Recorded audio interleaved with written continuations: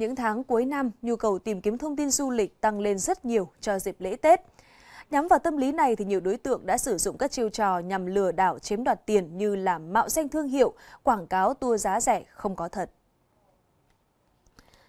Gần đây nhất, đại diện công ty cổ phần truyền thông du lịch Việt cho biết, thời gian qua các đối tượng xấu dùng nhiều hình thức quảng cáo trên mạng xã hội, lập trang fanpage với chiêu thức nhái tên thương hiệu để chào bán tour chương trình du lịch đi Nhật với mức giá siêu rẻ, chỉ khoảng 6,999 triệu đồng một người cho hành trình 6 ngày.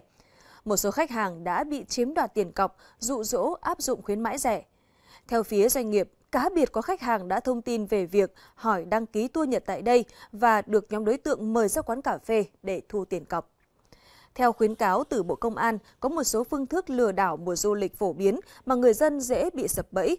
Nhóm người lừa đảo sẽ đăng tải bài viết quảng cáo bán tour du lịch, phòng khách sạn giá rẻ trên mạng Internet và mạng xã hội với nhiều tiện ích kèm theo, đề nghị nạn nhân chuyển tiền đặt cọc từ 30 đến 50% rồi chiếm đoạt.